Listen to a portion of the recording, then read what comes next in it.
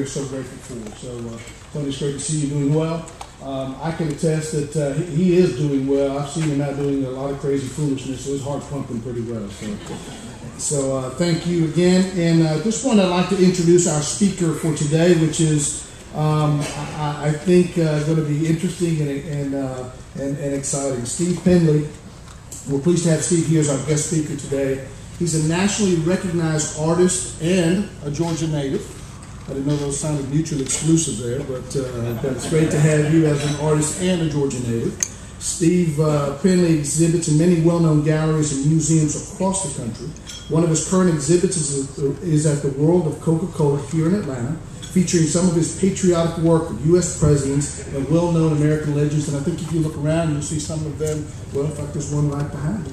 Um, and I think he currently uh, presents much of his uh, his work at the Maitre Gallery on uh, on uh, Bennett Street in, in, in, Atlanta. So it's great to have you. And today, with our kickoff of our Pump It Up American Style campaign, it is a privilege to have such a successful and patriotic entrepreneur to speak to us today. He is one that adds Americana style in his work and has created a positive future by getting involved and making things happen and making a difference. So at this point, I'd like to introduce to you Steve Penley.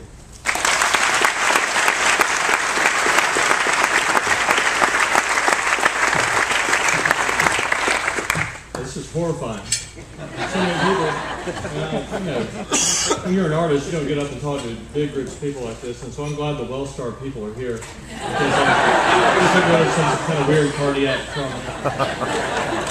Um, but Don, thanks for having me here. I'm very flattered that you would ask me to, to come and talk, and thanks to the chamber for having me come talk. Because at home, nobody listens to anything I have to say, and um, and I can't believe that there's people just sitting here, especially big shots like you guys, who are actually going to sit here and listen to me talk. And I feel so powerful. but so no matter what happens here today, I'm going to tell my wife that you're all captivated. Because she, she thinks I'm just, that all my ramblings about every topic under the sun are just my slip into insanity like every other artist. She always asks me if I've been taking my medicine but um, but this is but this is a really exciting thing for me to, to be able to talk to people and be able to talk about my book and and to tell you why I paint the things I paint, and especially to a group like this, um, to talk about why I think that my artwork relates to you in commerce. Um, so I'll give you some background first. I was born on the Georgia side of Lookout Mountain, so I am technically native and lived in Chattanooga for a little while. And then I moved to to Athens when I was about five years old. My dad started a piano store. And um, some of you may have heard of that town. Some of you may have heard of this guy, Vince Dooley, down here. Too. He kind of follows me around. He's part of my entourage.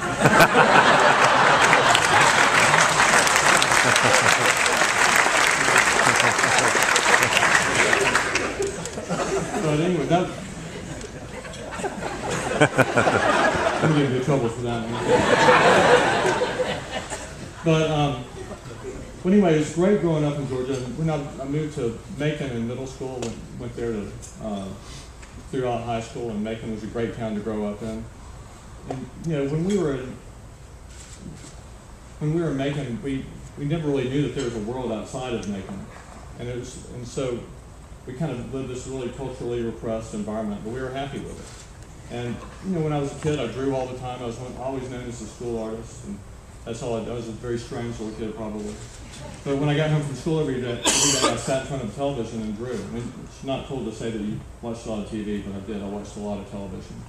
And I think there are a lot of, I mean, there are a lot of negatives. I'm not saying, I'm not promoting the TV thing with kids, but there are some positives to it. Um, my favorite shows were things like The Lone Ranger, and I love Adam 12, and um, and I love war movies. I love John Wayne and and just all these great good versus evil kind of kind of shows and movies that we don't really seem to have today. Today, uh, good and evil has become so ambiguous. And you know, as children, we were taught that America was the good guy, and it didn't really occur to us to think anything different. But now, um, in in a police show, the cops are seen seen as the bad guys and corrupt and and the criminals are glorified.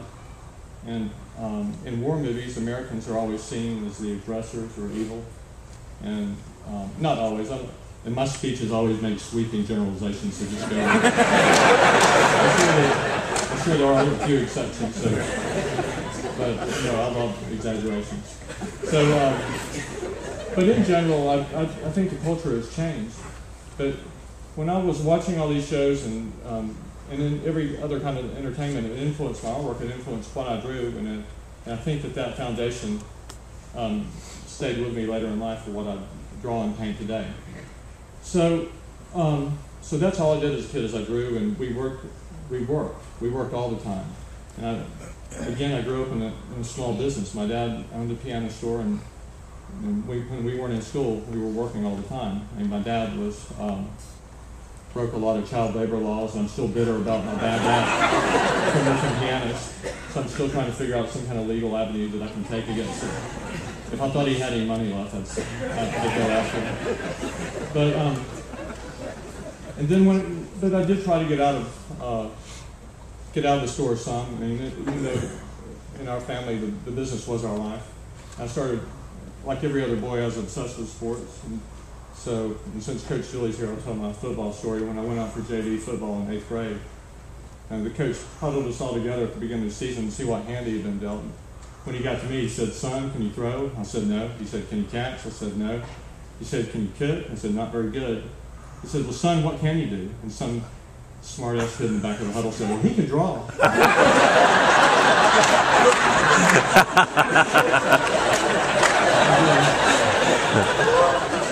Well, I had a lot of crowning um, athletic achievements in high school too. Coach, I was a great athlete. I was somewhat what of a phenom. My uh, basketball coach told me that I set the record for most technical fouls in a game and a season. So I had that something about my face that can make a referee really mad. So, but, and then I had a lot of academic accolades also.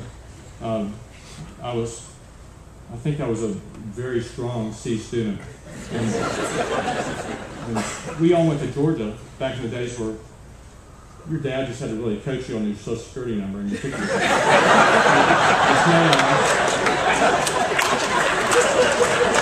As long as you could get those numbers down, and you had it.